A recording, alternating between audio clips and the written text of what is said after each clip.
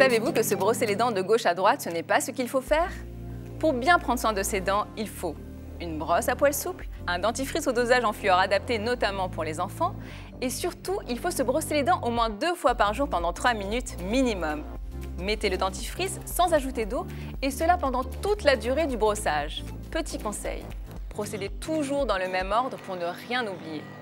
Commencez par le haut par exemple. Sur les côtés, il faut mettre la brosse à dents à 45 degrés et par un mouvement semi-circulaire du poignet, brosser de haut en bas, toujours de la gencive vers les dents. Faites tout le tour de la bouche. Attention, pour les dents du bas, il faudra donc brosser du bas vers le haut. Pour les enfants, vous pourrez leur dire du rose vers le blanc. N'oubliez pas de faire la même chose sur les côtés intérieurs de vos dents, côté langue. Petite astuce pour les dents de devant, il faut placer la brosse verticalement pour plus de facilité. Ensuite, nettoyez les faces du dessus des dents par un mouvement de va-et-vient vers l'avant et vers l'arrière. C'est le geste le plus simple que vous connaissez tous, mais il faut le faire 10 fois par côté. Si vous avez tout fait correctement, il ne vous reste plus qu'à vous brosser la langue parce que là aussi il y a des microbes. Bien vous rincer la bouche et bien rincer votre brosse à dents.